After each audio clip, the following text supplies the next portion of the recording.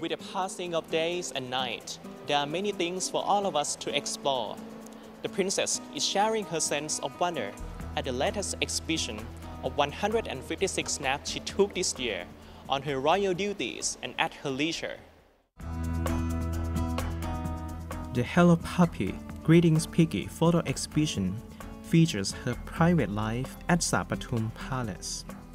She has been living here for over 18 years, but she always makes new discoveries. The princess, for instance, had a weird dream three or four years ago about an elderly couple coming to her and saying they would help look after her home. When she told her entourage, they said the elderly couple had really taken care of the place. The princess has made offerings to guardian spirits ever since. The royal family's animals also make their debut in a photo exhibition. Nong Lamun Lamai is the first photo of the year of the dog.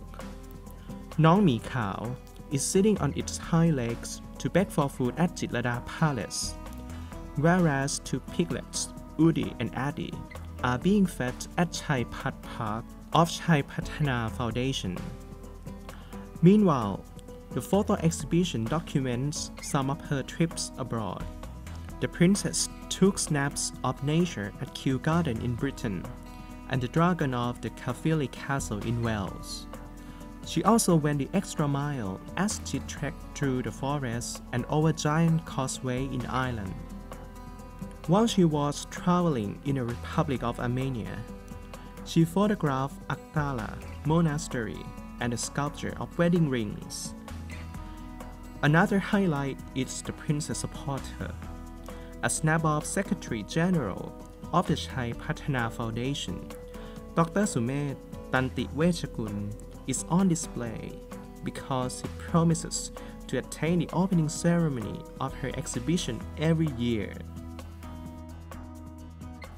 The Hello Puppy Greetings Piggy photo exhibition is running from January the 2nd until March the 10th on the ninth floor of BACC. It is open daily from 10 a.m. to 9 p.m. except Mondays.